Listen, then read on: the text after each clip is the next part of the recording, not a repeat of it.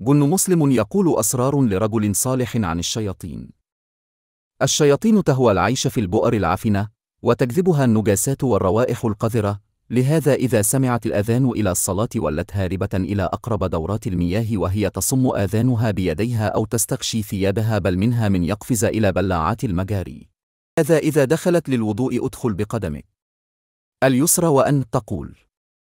أعوذ بالله من الخبث والخبائث.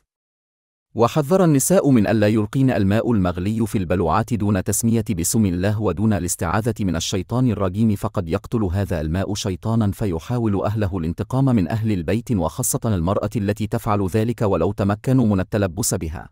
احذروا وجود التماثيل والمجسمات والصور.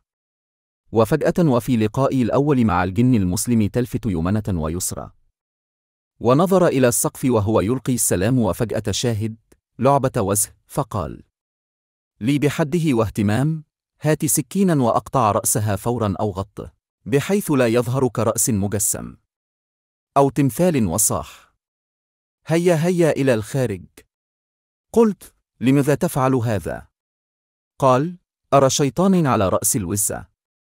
وغطينا رأسها فانصرفت الشيطانان بفضل الله. قلت له بالنسبة للصور الفوتوغرافية هل تجذب الشياطين أيضا؟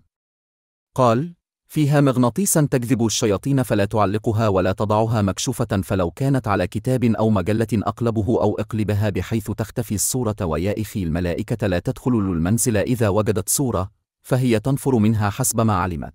قال الجني وإياك أن تدع غرفة بالمنزل خالية من حركتكم ونومكم وذكر الله تعالى بها إذ لو فرشت غرفة نوم وتركتها خالية فإن الشيطان ينام على هذا الفراش وشغل هذه الغرفة وهذا كلام رسول الله صلى الله عليه وسلم.